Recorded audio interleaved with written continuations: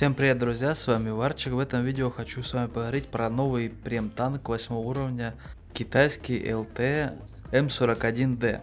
Как вы уже поняли по внешнему виду, это просто бульдог, но китайский. Ну и в конце буква D как бы уже намекает, что это танк дерьмо. В принципе, так оно и есть. В нынешнем состоянии World of Tanks имеет очень большие проблемы, особенно на восьмом уровне, и выпускать в такой момент такие сложные прям танки, как этот, это просто катастрофа. Неужели нельзя было подождать, пока балансировщик исправится, и потом выпускать этот танк?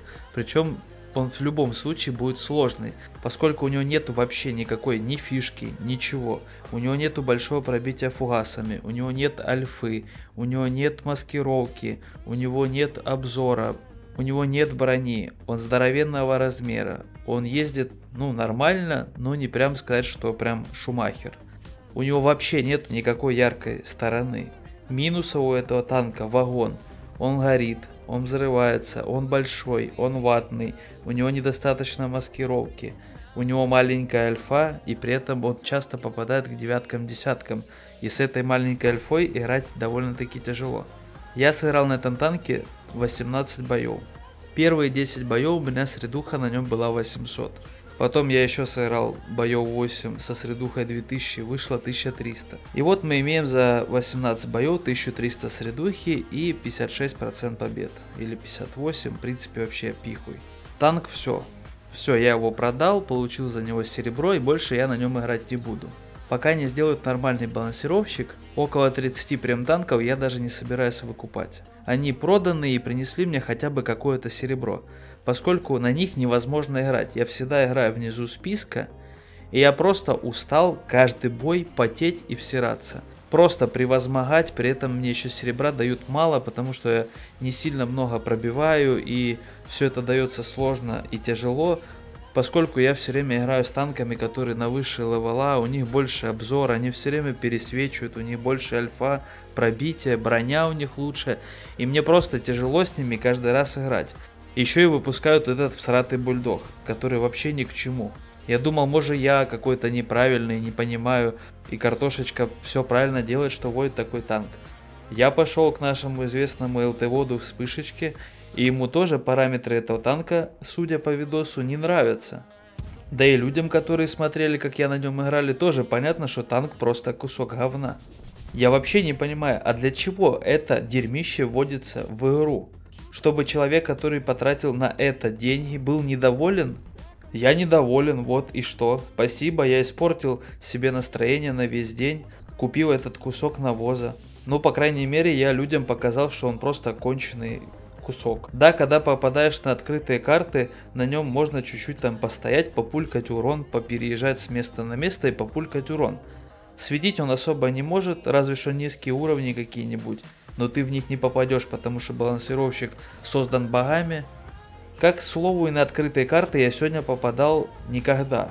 Я играл на всяких перевалах, энсках, коридорных залупа картах, и я не смог ничего наиграть просто ничего не смог наиграть, потому что ЛТшки в этой игре, начиная от 8 до 10 уровня, а тем более колесные, нахер не нужны. Знаете почему? Потому что они только на некоторых картах могут немного исполнить какой-то свой геймплей, а на большинстве картах они нахер не нужны.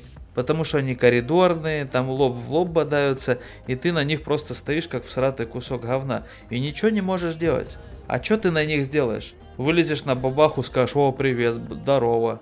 Ты такой на 170 пук, он тебе ваншот.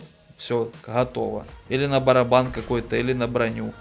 Я уже молчу про какие-нибудь новые имбовые танки, у которых вообще уязвимых зон нету, и они только голдой пробиваются. Если я на такой танк выеду, что я с ним буду делать? Да, но я же легкий танк, я должен объезжать. Куда объезжать? Я играл весь день на коридорных картах. Как я, будучи на карте из двух-трех дорожек, куда-то что-то объеду? Не, ну я же должен был еще неделю на нем поиграть и дождаться, пока меня кинет на какую-то карту. И там, если ВБР мне позволит, я сыграю. А зачем мне это все? Для чего? Танк тупо слабый по всем параметрам. Зачем такое выпускать вообще? У него даже нет никакой ни фишки, ни плюсов, ничего. Разработчики распиарили такие, у него есть ДПМ. Как ты реализуешь ДПМ с такой малюсенькой альфой, при том, что он такой здоровенный. Всю жизнь в картошке было легче играть от альфы. И сейчас ЛТ вообще нахрен не нужны. Играбельных ЛТшек в игре очень мало. И это явно не бульдоги. Последний играбельный бульдог это американская семерка с барабаном. Все остальные бульдоги это куски говна, на которых только страдать и потеть. При этом при всем я еще на нем серебро вообще не получаю, его просто не дают. За более-менее нормальные бои дают там ну 70 тысяч, это потолок с прем-аккаунтом. Вопрос, нахер он вообще нужен. Даже если исправят балансировщик и я этот танк выкуплю, скорее всего все равно он мне нравится уже не будет никогда. Потому что он все равно будет проигрывать всем по параметрам. У него обзор такой же, как у обычных СТшек 8 уровня. Пробитие такое же, как у всех остальных СТшек, даже меньше. Не говоря уже про девятки и десятки. Альфы у него нет, брони нет, он здоровенный, маскировки тоже какой-то особенной нет. Он ни вообще ни у кого не выигрывает по параметрам, абсолют. Есть какой-то ДПМ, и при этом при всем этот ДПМ еще надо разгонять какими-то фиолетовыми неведомыми силами. Серьезно, с таким успехом можно на любом танке ДПМ разогнать. Короче, это танк полное разочарование. С вами был Варчик, играйте красиво, пока.